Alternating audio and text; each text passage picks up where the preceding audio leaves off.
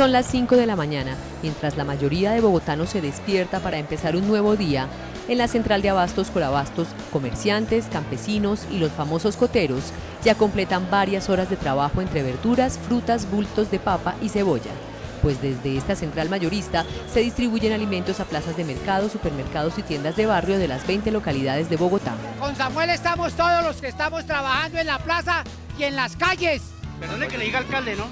Porque es que hay un amigo que, que se dice que no lo quiero nombrar y aspira ¿Es verdad que van 0-0 o van 1-1? ¿Cómo es? Vamos 3-0. en la despensa de Bogotá, Samuel habló de las prioridades de su programa de gobierno, lograr que los capitalinos que viven en condiciones de indigencia y pobreza puedan tener comida digna en sus mesas. 500 mil refrigerios diarios que se están distribuyendo a los niños, a las niñas y a los jóvenes que estudian en los colegios oficiales. La meta nuestra es ampliar eso a un millón de personas para que toda la población que está en edad escolar tenga la posibilidad de acceder a un refrigerio. Por 32 años, doña María Cortés ha trabajado en Corabastos. Vendiendo atados de cebolla, ha sacado sus seis hijos adelante. Hoy aprovechó la visita de Samuel para pedirle que mejoren la seguridad en la central de abastos. Lo primero, hay mucho ampón. Esto es mucho, hay mucho campón aquí que eso, no hay quien les diga, hombre, eso llega un carrito, lo desvalijan y aquí no hay una persona que no, el decir que hay, sí, esto, pero usted ve que matan aquí uno y no hay un policía, no hay un vigilante, no hay nadie.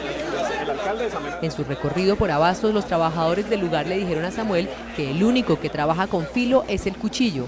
El candidato del pueblo aseguró que Corabastos tendrá un papel importante durante su administración.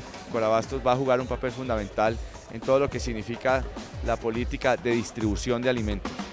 Eh, esta, es, eh, esta es una central de abastos que de acuerdo al plan maestro eh, de abastecimientos juega un papel fundamental, es el nodo y la principal plataforma logística para desarrollar una serie de actividades.